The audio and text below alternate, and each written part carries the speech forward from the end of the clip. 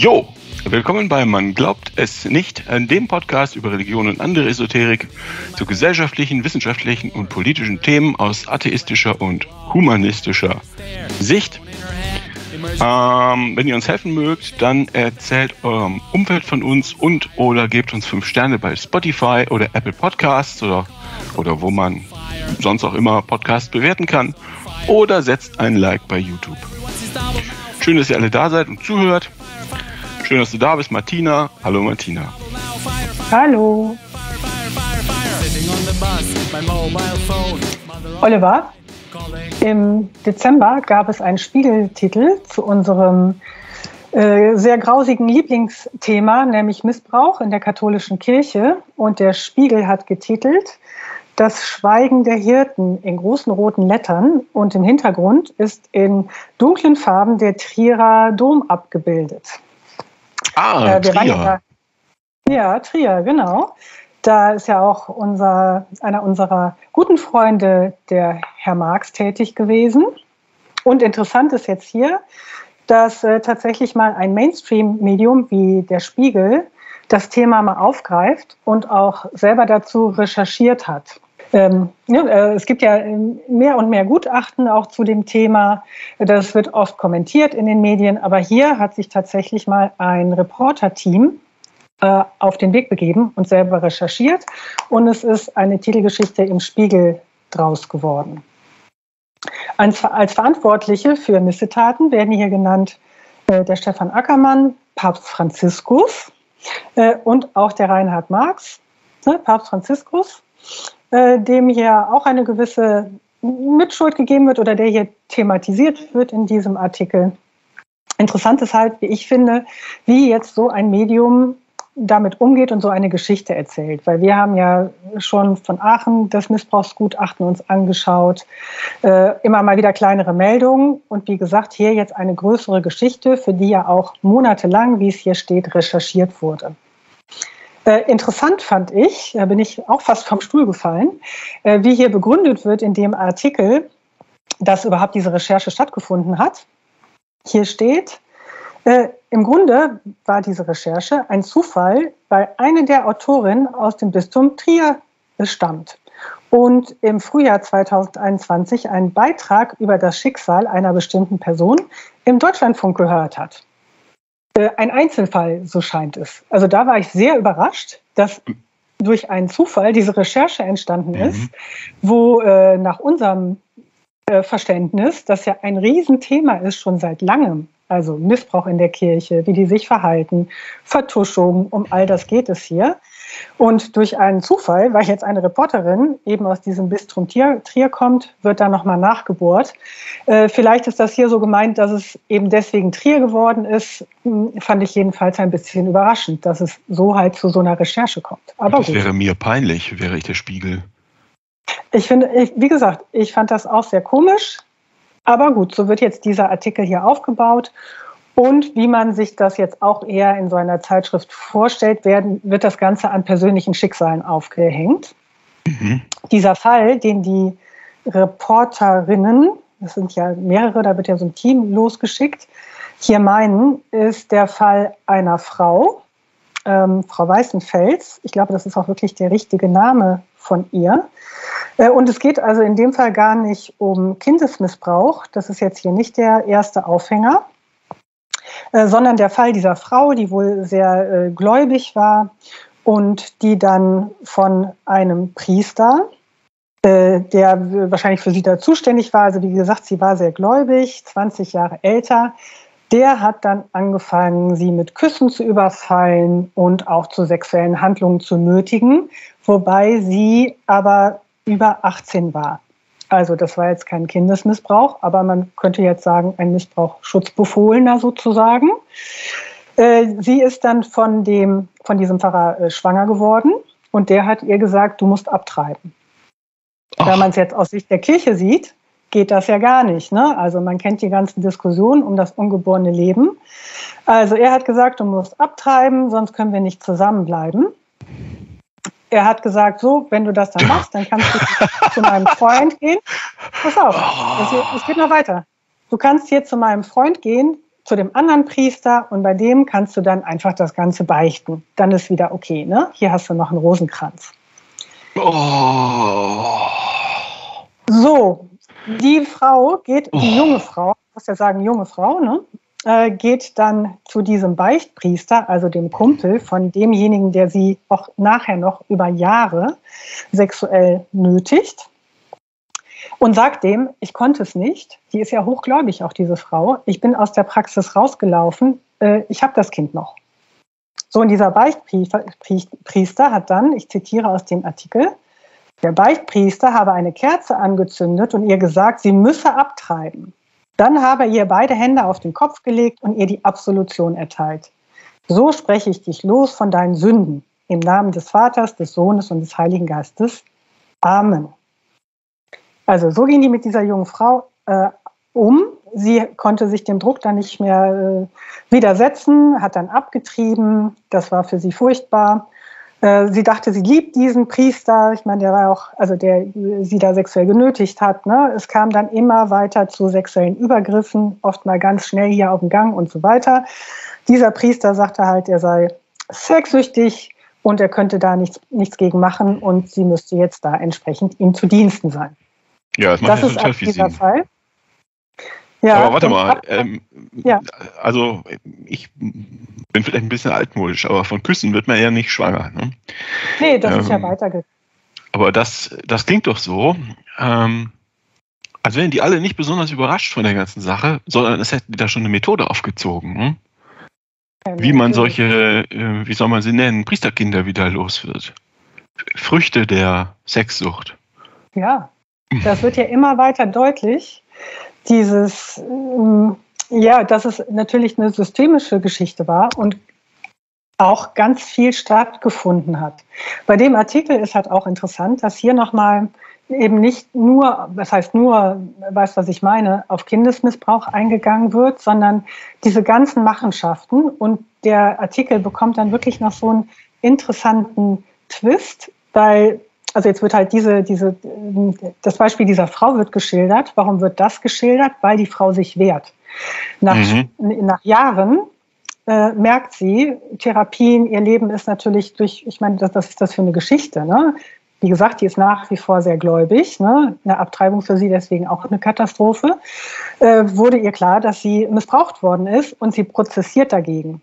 Die geht dagegen an. Sie hat geschrieben an die ganzen Verantwortlichen, auch an den Herrn Marx, über einen Anwalt und so weiter. Also sie wehrt sich und sie wehrt sich nach wie vor und möchte da ihr Recht bekommen. Und Deswegen, sie ist laut. Ne? Das ist wahrscheinlich das, was so selten genau. ist. Und sie ist auch ähm, hier eine Frau. Es ist eine Abtreibung, was halt gar nicht geht, ne? in dem Zusammenhang, dass da Priester entsprechend äh, auch dazu aufrufen. Ne? Also sie wehrt sich und deswegen ist dieser Fall entsprechend auch hier der Aufhänger und hat es dann auch in den Deutschlandfunk erstmal geschafft. So, hier steht, zwei Bischöfe waren zu jener Zeit verantwortlich, als Karin Weißenfels Konsequenzen forderte, Stefan Ackermann, der das Bistum Trier seit 2009 leitet und äh, ja auch inzwischen der äh, Beauftragte ist ne, für den sexuellen Missbrauch Minderjähriger in, äh, in der Kirche. Ne? Und äh, sein Vorgänger leitete ja auch vorher das, äh, das Bistum, also zu der Zeit, wo das Ganze auch schon irgendwie bekannt war oder sie da auch schon angefangen hat, entsprechend sich zu wehren. So, das heißt, so die Reporter gehen davon aus, dass die das irgendwie auch wussten.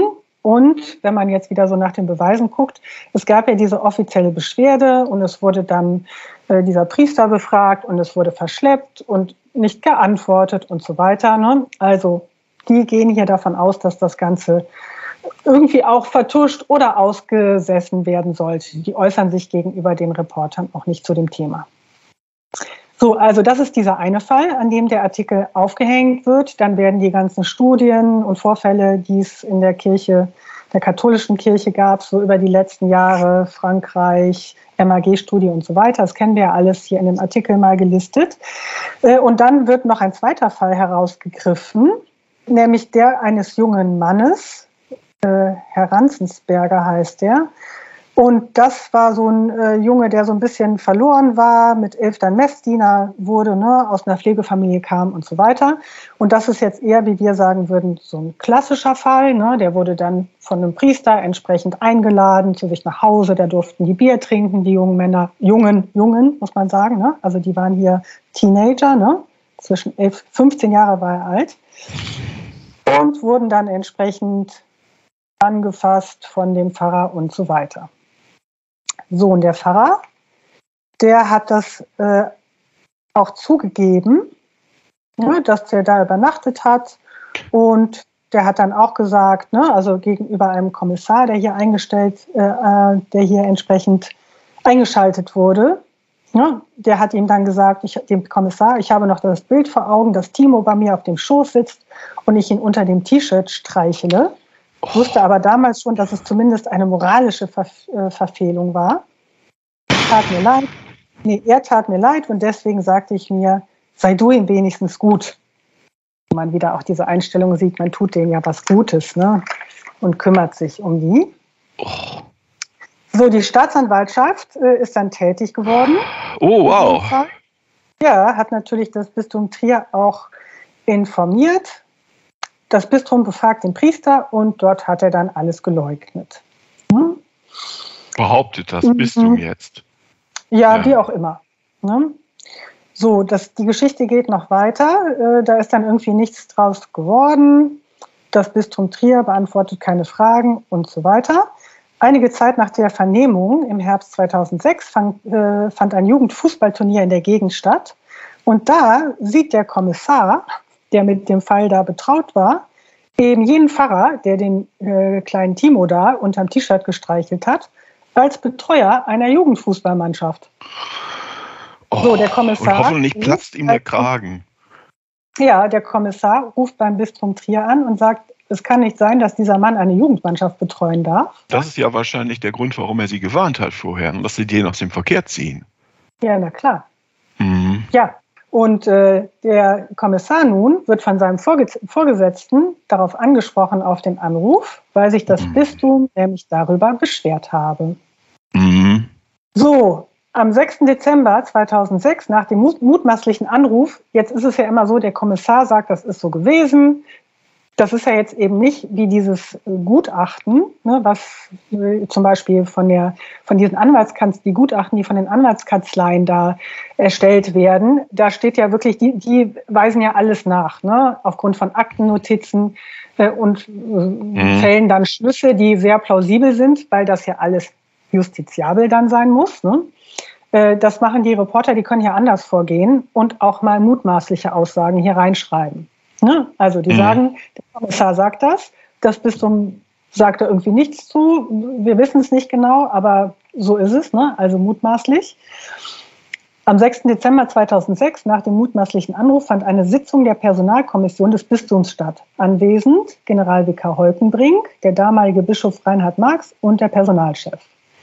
Dort wurde über die Zukunft des Pfarrers entschieden, der Ranzensberger missbraucht haben soll. Es wurde beschlossen, dass keine kirchenrechtlichen Voruntersuchungen gegen den Pfarrer eingeleitet werden, die beispielsweise zu einer Kontaktbeschränkung zu Jugendlichen hätten führen können. Der Pfarrer blieb auf seiner Stelle, als wäre nichts gewesen. In den folgenden Jahren wurde dieser Pfarrer noch mindestens sechsmal angezeigt, bis auf eines wurden alle Verfahren eingestellt. Ein ehemaliger Messdiener sagt, im Jahr 2007, ein Jahr nach dem Anruf des Kommissars beim Bistum, habe der Pfarrer ihn eingeladen, mit ihm übers Wochenende wegzufahren. Die Reise sei eine Belohnung für seine Dienste als Messdiener gewesen. Oh. sei der Pfarrer dann in sein Zimmer gekommen und habe ihm in die Schlafanzughose gegriffen. Auch dieses Verfahren wurde eingestellt. Also dieses also die, Bistum Trier ist ein unglaublicher Sumpf. Für die Hörerinnen und Hörer, denen der Name Holkenbrink nichts mehr sagt, den hatten wir sehr ausführlich, ich glaube in Folge 95 über unser Bistum Trier.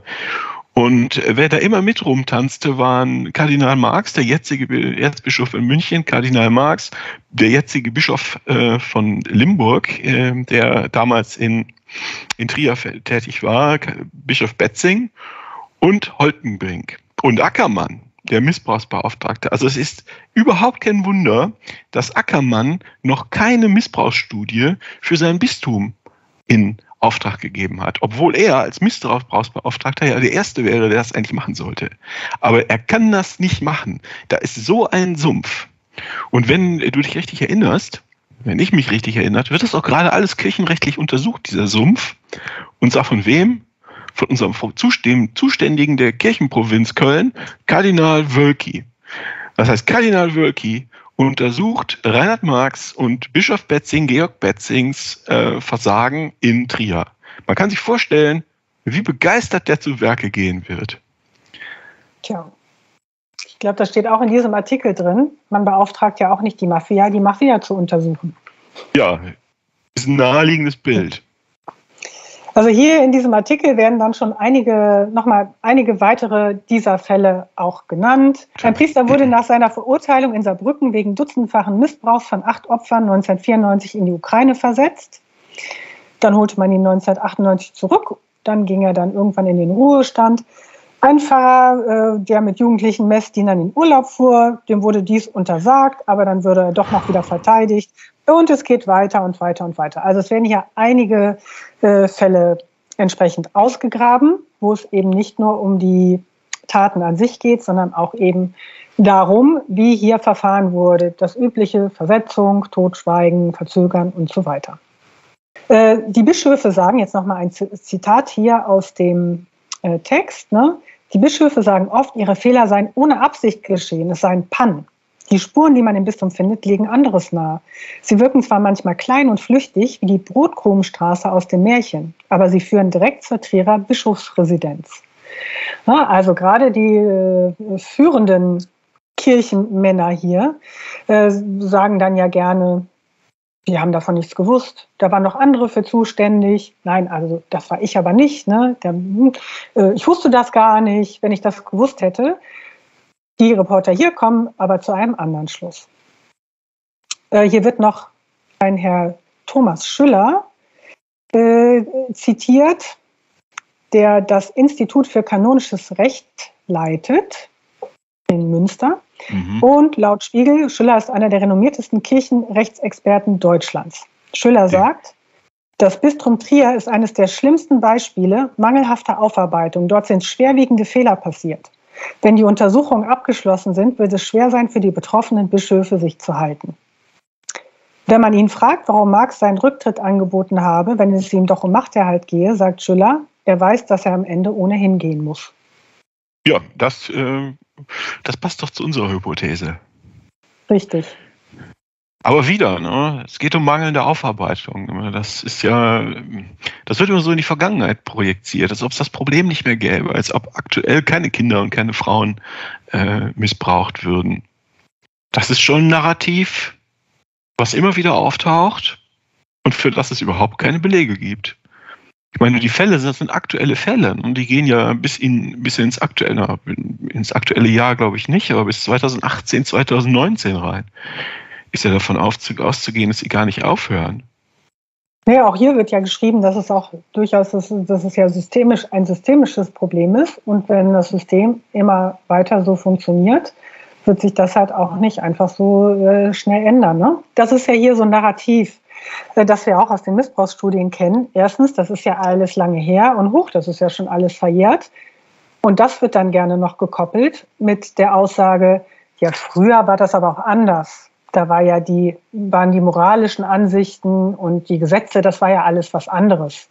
So, äh, nein, das wird ja auch gerade von dieser Anwaltskanzlei ähm, Westphal Spilker Wastel in ihren äh, Gutachten ja immer deutlich gesagt.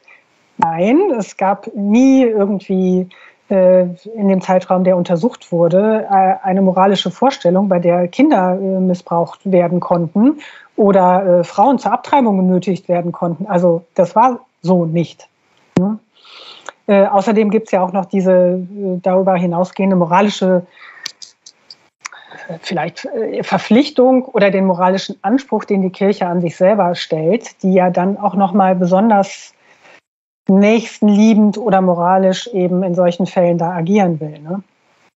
Also es wird alles ja, aber selbst wenn man das, die Vergangenheit projiziert. Genau, selbst wenn man das weglässt, das Moralische. Ähm, es geht nicht um mangelnde Aufklärung. Also die, die tun so, also ja, wir haben uns in der Aufklärung, da sind wir nicht so richtig so schnell und das liegt auch daran, dass wir so völlig in der Verwaltung total verhuddelt sind und so. Darum geht's ja nicht. Die sollen auf den Tisch hauen und dafür sorgen, dass es aufhört. Das ist ja der erste Schritt. Das muss aufhören. Die müssen die Strukturen so ändern, dass nicht jedes Jahr weiter oder jeden Tag, wenn du so willst, weiter Kinder missbraucht werden. Und wie immer klarer wird, auch Frauen. Es gibt Untersuchungen, die sich weltweit die Nonnenklöster angucken. Nur die ersten Untersuchungen. Und die sagen alle konsistent, ungefähr ein Drittel der Nonnen wird sexuell missbraucht von Priestern. Krass. Das muss man sich mal vorstellen. In Deutschland gibt es kaum noch Nachschub an Nonnen, aber es gibt auch noch kaum Nachschub an Priestern. Da muss ich auch mal eine Folge zu machen. Aber das ist, die werden systematisch, systematisch durch Hirnwäscherei oder Hirn, wie heißt das denn? Ähm, Hirnwäsche dazu gebracht, dass sie sich als kleines Sache, fast, als dass ihr Ego weggeht, dass sie, dass sie nur noch eine, dass sie quasi fast nur eine Sache sind, dass sie der Kirche gehören. Die Kirche gehört den Priestern. Sie müssen der Kirche äh, zu Willen sein. Die müssen den Priestern zu Willen sein. Und sie können sich nicht mehr wehren, weil sie die Sprache komplett verloren haben darüber. So, das hat der Tilma gesagt. Ne? Wer keinen Bock auf Kinder hat, der nimmt sich halt die Nonnen. Naja, und was passiert dann? Schwanger werden können die ja nun auch, ne? Ja, natürlich. Offensichtlich gibt es da ja so eine Art äh, äh, Rattenlinie ähm, für, für ja, ähm, im, im Rahmen dieses Vorgehens äh, erschwangerte Nonnen ne? oder erschwangerte Frauen. Also ist wirklich ärgerlich. Ist wirklich ärgerlich. Entschuldigung, das war der Ausbruch Nein. des Tages. Jetzt du wieder. Mal gucken, wie viele noch kommen. Na, jedenfalls ähm, geht der Artikel so weiter, dass die Reporterin, also erstmal sagen die Kirche, ne, die äh, geht nach der 3Z-Regel vor, das ist ihr Eindruck. Ne? Also Zugang, der Zugang wird verweigert, ne? man kann keine Unterlagen einsehen, die antworten hier dem Spiegel überhaupt nicht, ne? also gar nicht, keine Reaktion. Ähm, es gibt, die Zuständigkeiten werden hin und her geschustert. Ne? Ich war nicht, der war zuständig. Nee, nee, ich war nicht, der war, das wusste ich ja gar nicht. Ne? Da hat der den Fehler gemacht. Und das dritte, äh, das Spielen mit der Zeit. Ne, was wir ja auch schon ganz oft gesehen haben, dass dann erst nach zehn Jahren irgendwie das Ganze dann irgendwie weitergeleitet wird und in der Regel sind die dann, ist das dann schon verjährt oder der Priester ist schon gestorben oder was auch immer. Hm? Also das scheint hier so eine Vorgehensweise zu sein. Dann gehen die Reporterinnen jetzt noch in die äh, zu so betroffenen Verbänden und hören sich weiter um und sprechen mit vielen Leuten. Und hier ist, wie finde ich, das Interessante, dass irgendwie ganz klar wird, dass das normal war, dass sich die Priester so aufgeführt haben, dass die die Kinder angefasst haben, dass sie die Frauen bedrängt haben. Also überall so schreiben das hier jetzt die Reporterinnen, äh, überall, wo man sich umhört, gibt es jemand, der äh, in der Schule angefasst wurde. Hier berichtet eine Frau, äh, sie hatten da einen Priester in der Schule, ich weiß nicht genau, was er jetzt da unterrichtet hat, aber die Kinder hatten Angst. 67, um 1967 geht es hier wenn es zur Pause geschellt hat, stellte er sich an die Tür, aus der wir raus mussten, und griff sich wahlweise eins der Kinder. Und das wurde dann belästigt, betatscht in der Pause. Die hatten alle Angst, dass sie jetzt drankommen. Und das geht immer weiter, solche Geschichten. Ne? Die Eltern haben nichts gesagt, die Kinder haben sich nicht getraut, was zu sagen. Das wurde nicht ernst genommen von der Kirche. Also man merkt hier immer mehr, das war absolut Normalität. Da ist keiner davon ausgegangen, dass das nicht passiert dass die nicht irgendwie übergriffig wurden, dadurch, dass sie eben hier entsprechend so eine mächtige Stellung haben. Zum Beispiel, ein Opfer erzählt, ich habe noch als Teenager seinen Eltern von den Übergriffen berichtet. Sie hätten nichts unternommen. Ein Mann sagt, er habe seinem, seinen, Peinigern bei der Polizei, seinen Peiniger bei der Polizei angezeigt. Der Täter wurde später verurteilt. Im Dorf hieß es allerdings, das Opfer sei ein Lügner und Wichtigtuer, ein schwuler Hund. Es wurde so schlimm, dass die Familie umziehen musste. Also man sieht hier, ne, viele Opfer berichten, dass die Täter mächtige Unterstützer hatten. Oft sind es die Gläubigen selbst, für die die Priester den Zugang zum Himmel bedeuten. Äh, auch das habe ich in äh, einer der Missbrauchsstudien gelesen. Oder man hat es auch öfter schon mal gehört äh, oder gelesen, dass die, Priester, die Missbrauchspriester, also die nachweislich Kinder missbraucht haben, in den meisten Fällen ist es ja so, dass die Gläubigen, die Gemeinde voll hinter denen steht und ich will, dass die versetzt werden. Und das heute noch. Hm? Also das gab es, glaube ich, bei diesem Düsseldorfer Priester war das so. Äh, und hier scheint das auch eben so eine, ja, auch halt so eine durchaus üblich gewesen zu sein, dass man sich eben mit dem Klerus hier, mit dem Priester nicht anlegen will, ne, sondern eher dem Opfer nicht glaubt und so weiter. Also diese Weil Katholiken müssen, die müssen komplett gehirngewaschen sein.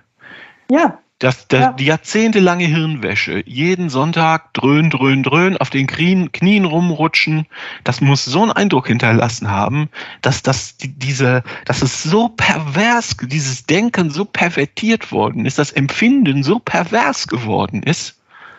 Tja, das ist auch, deshalb treten die auch nicht aus. Ne? Deshalb treten die auch nicht aus der Kirche aus und denken sich irgendwie zurecht, sagen so, ja, ach ja, soll das bisschen Missbrauch oder das wird ja alles völlig überbewertet oder sagen, ne, ich muss die Kirche ja von innen ändern, ne, ich ändere die jetzt, aber eigentlich kommt es kommt immer wieder auf selber raus, sie treten nicht aus, das System läuft einfach weiter. Krass. Ja, hoffentlich ändert sich das jetzt mal. Also wie gesagt, hier, das geht dann eben, dieser Artikel geht so über in eins äh, in eben diese, äh, diese Schilderung, dass sich die ReporterInnen hier überhaupt nicht mehr ähm, davor retten können, vor diesen ganzen Geschichten, die an jeder Ecke aufpoppen. Ja, also, und das sind jetzt eben Fälle, die sind, denke ich, journalistisch überprüft, aber würden bestimmt einer rechtlichen Prüfung nicht unbedingt äh, standhalten, ne? wenn derjenige nee, das erzählt, die. das auch passiert ist. Eben, und das heißt, dass dieser Artikel ja nochmal ein ganz anderes Bild äh, dann auch schildert, als äh, das, was man sonst so liest, weil hier vielleicht auch Dinge drinstehen, die eben nach Recht, im rechtlichen Sinne äh, nicht beweisbar sind oder standhalten, ne? sondern das sind Geschichten von Leuten, die das erzählen und die nach Auffassung der Reporterin hier glaubwürdig sind und Entschuldigung, auch nach dem, was wir bisher alles wissen. Also, dass da äh, irgendwelche Typen, die, wir haben da ja auch schon drüber gesprochen, wieso geht man da in diese katholische Kirche rein als Priester, wieso ging man da früher hin, dass diese Typen mit unendlicher Macht in kleinen Dörfern, Gemeinden ausgestattet, irgendwie übergriffig, sadistisch, missbräuchlich werden, ist ja auch nicht weiter verwunderlich. Von daher ist das absolut plausibel, was die Personen hier schildern. Dass Messdiener angefasst wurden, dass Frauen da genötigt wurden und so weiter. Tja. Übrigens steht hier noch, äh, das ist das, was du ja eben gesagt hast, ne? ein US-amerikanischer Pastoralpsychologe, äh, Richard Sipe heißt der, schätzte einst, die Zahl der sexuellen Übergriffe von Priestern in der katholischen Kirche auf Frauen sei viermal höher als die auf Kinder. Ich weiß nicht, wie glaubwürdig das ist, aber das unterstreicht ja nochmal diesen Punkt, den du eben genannt hast, über dieses schreckliche Thema Kindesmissbrauch hinaus ja auch nochmal das, was äh, Frauen oder vielleicht auch erwachsenen Männern, die schutzbefohlen waren oder äh, vielleicht nicht in der Lage, sich da adäquat zu wehren, das kommt ja auch noch dazu, was sie denen noch angetan haben. Das haben wir bisher noch wenig berücksichtigt, wenn wir darüber gesprochen haben. So und so viele äh, Täter, die irgendwie Kinder missbraucht haben, das kommt noch, das kommt noch hinzu. Ja, das poppt alles ganz langsam auf. Ne? Also langsam muss man sich wirklich fragen, welcher Priester da, was das angeht, wirklich äh, sich nichts vorzuwerfen hat. Ne? Tja, am besten ja. sind wahrscheinlich die Priester dran, die sich regelmäßig in einer kleinen Gruppe äh, zum Bibelstudium für ein Wochenende zurückziehen. Ne? Die können da vermutlich äh, ihren, ihre Triebe ausleben, wie sie wollen, ohne dass, ähm, ohne dass jemand anders drunter leidet. Ja, also es ist wirklich ein Sumpf, ne? Ich denke immer, aber vielleicht bin ich da auch naiv. Ich denke immer, wenn das aufpoppt, wenn das bekannter wird mit dem Massenmissbrauch an Frauen, mit dem Massenmissbrauch an Nonnen, ähm, mit dem Kinderheim, dieser, wir haben ja bis jetzt nur einzelne Berichte, aber diese unglaubliche Gewalt, auch sexuelle Gewalt, die in katholischen Kinderheimen offensichtlich Alltag war und ist, die, die Katholiken gehen, die Katholiken können doch nicht mehr dabei bleiben. Das kann doch nicht sein, dass die dieser, diesem Laden die Treue halten. Was sind das denn für Leute? Das kann ich mir nicht vorstellen. Stell dir vor, du bist in einem Kaninchenzüchterverein oder was auch immer. Du stellst fest, da ist ein, ähm, ein zweistelliger Prozentsatz der Leute ist, ähm, sind Gewalt, sexuelle Gewalttäter oder wie auch immer das heißt. Dann nimmst du doch die, sagst du, ja, ich mag Kaninchen. Es ist meine Leidenschaft. Aber dann nimmst du doch die Beine in die Hand und suchst dir einen anderen Kaninchenzüchterverein. Was machen die denn dann noch? Ja, es ist halt doch ein bisschen komplizierter als das. Im Grunde hast du natürlich recht. Ja, aber wenn, ich, natürlich Artikel ist es komplizierter, aber wenn du es reduzierst auf das, was wirklich da ist, wenn du es auf die Tatsachen, äh, auf die Tatsachen reduzierst, dann siehst du, du bist in einem Verein Mitglied, den du stark machst durch dein Geld und deine Stimme und dem du erlaubst, Hauptamtliche einzustellen, indem du ihm dein Geld und deine Stimme gibst. Und du stellst fest, die Hauptamtlichen sind gewalttätige Missbrauchstäter. Dann bleibst du doch nicht in dem Verein. Nee, wenn du das siehst, dann denke ich auch nicht mehr. Aber ich glaube, es wird nicht gesehen. Und dafür finde ich diesen Artikel sehr gut. Nicht an, weil der noch, ähm, noch andere Dinge thematisiert, die sage ich jetzt mal gerade als Beispiel. Ich weiß nicht, ob das in einem Artikel stand, ich glaube, es stand woanders, dass äh, auch Leute, vielleicht gerade ältere Leute, auch Tradition mit Kirche vermischen oder verwechseln. Ne? Also dass es wirklich so ein Teil des Lebens ist, aber das noch am Rande. Also hier steht zum Beispiel, ne, wie gesagt, das geht hier dann so im Schluss da, darin über, dass ganz viel an jeder Ecke was aufpoppt.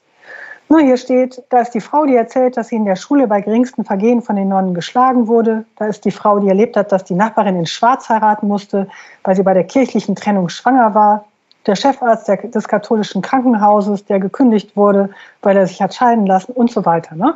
Das sind ja jetzt mal so Sachen, die werden ja noch nicht mal thematisiert, weil das so Kleinigkeiten in Anführungszeichen sind. Und an dieser Stelle, also ich, ich bin ja auch katholisch aufgewachsen. Ne? Ich bin auf eine Nonnenschule gegangen und da gab es auch ein Internat mit Nonnen und Mädchen. Und da gab es auch ein Internat mit Jungs und Priestern total katholisches Nest und sowas hier, dass da in Schwarz geheiratet wird, das kenne ich natürlich. Aber ich habe mir da nie so großartig Gedanken drüber gemacht. Es muss halt auch mal in so einer Zeitung stehen, was das für eine Schmach ist. Das war für mich normal, dass das so ist. Oder dass irgendwie implizit natürlich da immer drüber getuschelt wurde, dass die Priester, die Pfarrer, äh, der Kardinal oder nicht Kardinale waren es ja nicht, ne, aber dass der äh, so und so und der so und so, dass die abends bei den Jungs dann in die Schlafsäle gucken oder kommen oder was, ne? Die werden da, weiß ich nicht, ob die da was gemacht haben, aber dass die irgendwie den Jungs dahinterher gucken und sowas, das, das wurde da schon auch einfach thematisiert. Aber auf so eine ganz komische Art und Weise, hö, hö, hö, hö. Also, das, das war so, mm, und das finde ich in dem Artikel, kommt nochmal so raus, dass es halt so normal war, auch auf die, die Pfarrer so zu gucken. So haben wir auch auf die geguckt, als komische Personen, vor denen man sich auch ein bisschen in Acht nehmen muss. Das ist mir jetzt wieder klar geworden, dass das bei uns als Kinder durchaus so war. Die waren einem auch seltsam. Und bei dem Internat weiß ich es noch ganz genau, dass das unter den Jungs, bei den Frauen jetzt nicht, aber die waren auch, da fällt mir das eher hier mit dem Schlagen an. Ich glaube, die haben nicht geschlagen, aber die waren auch gemein die waren nicht nett, man hatte Angst vor denen. Gerade die Internatsschülerin. Aber erst bei so einem Artikel, und deswegen ist das sehr gut, wird es einem auch klar, dass das eben nicht normal ist. Jetzt wohne ich da auch nicht mehr und beschäftige mich auch viel mit solchen Sachen. Aber andere wohnen da noch und haben vielleicht da noch nie drüber nachgedacht. Und deswegen ist das wichtig, dass das alles so hervorgeholt wird und auch in so einem Artikel wie in dem Spiegel, dass man wirklich mal sagt, so, ah ja, stimmt, das war ja bei uns, das war ja auch so ein Drache, diese Nonne. Oh, das stimmt. Die Jungs, die haben doch immer so komische Sachen erzählt, ne? Von dem Pfarrer so und so. Das war ganz normal. Und das ist ja ein bisschen das, wo die auf so komische Art und Weise die, die Pfarrer da in den oder die Verantwortlichen in diesen Missbrauchsstudien sagen, ja, damals war das ja auch so. So, als hätte das jeder Sportlehrer und jede Sportlehrerin und jeder Onkel auch so gemacht. Aber ein bisschen war das so, ne? Und es wurde einfach nicht thematisiert, weil die Leute alle Angst hatten. Wer sagt denn was da gegen den Priester? Genau das steht ja hier drin. Da wird eher der, da wird eher der arme kleine äh, ähm, Junge da aus, der, aus dem Internat, ne, wenn der sagt, ja, aber der deckt mich da immer zu oder was, ne, oder dann guckt er immer rein, wenn wir am Duschen sind, ist jetzt konstruiert, ne, dann wird doch der fertig gemacht und nicht der Pfarrer. Das war doch damals nicht so. Das ist ja jetzt erst, dass das endlich mal gemacht wird. Und erstaunlich, dass wirklich so dieser Artikel, dass da mal so selber recherchiert wird, ich kann das kaum glauben, dass das nicht viel mehr gemacht wird. Ja, aber das liegt daran, dass es einfach keinen interessiert. Ja, aber das ändert sich ja jetzt. Ja, hoffentlich. Hoffentlich. Zunehmend. Dass das nicht normal ist, dass man so mit Leuten umgeht. Es war eine absolute Schreckensherrschaft. So, ich gucke nochmal, wie dieser Artikel hier endet. Der endet so ein bisschen komisch.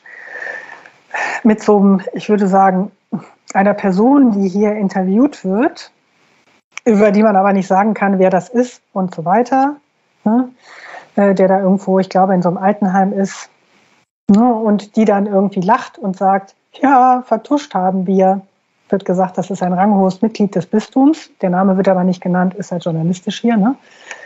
Und wie man das Vertuschen nachweisen könne, fragt dann der Spiegel. Die Person sagt, man sei sehr gründlich vorgegangen. Wenn ein Priester gestorben sei, habe man sich die Akte angesehen und das Schlimmste rausgenommen, bevor sie ins Archiv gewandert ist. Die Person im Wohnzimmer lacht ein bisschen über die eigene Teufelskerlhaftigkeit. Dann hält sie inne und fragt, aber das sagen Sie keinem, oder? Also ein bisschen alberner Schluss. Aber im Grunde sieht man auch hier wieder Disponierte, dieses, ja, so wurde es halt gemacht. Toll, ne?